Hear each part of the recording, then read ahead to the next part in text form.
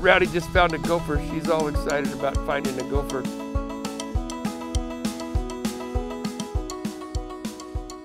You know, here we are, Paul in the vineyard, and our 2021 season is over. Yay! You know, a lot of people think, oh, harvest is over. Now all the farmers get to just go fishing. But actually, it's when a lot of other things begin.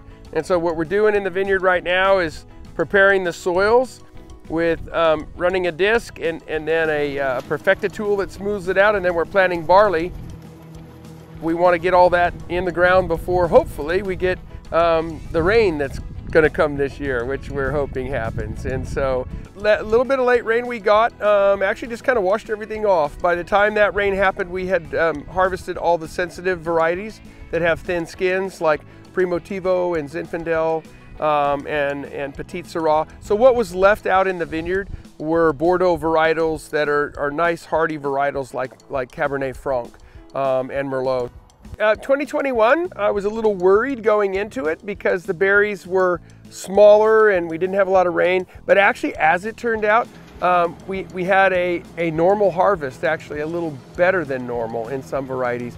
So my theory is the older vines, they're 30 years old with roots way down in the ground, they were able to adjust themselves as we got further into harvest because their roots are just so far down that they were able to pull some moisture um, from probably 15 or 20 feet down.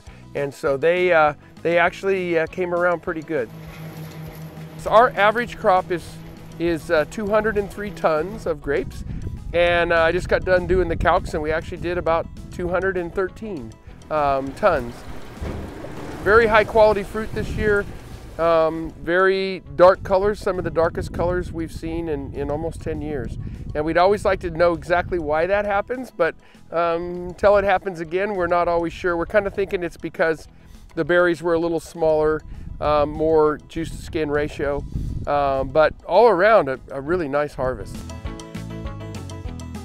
So one fun story from 2005 was when you graft over uh, varietals, you put buckets of cuttings at the end of the rows and then the crews grab those cuttings and they graft over.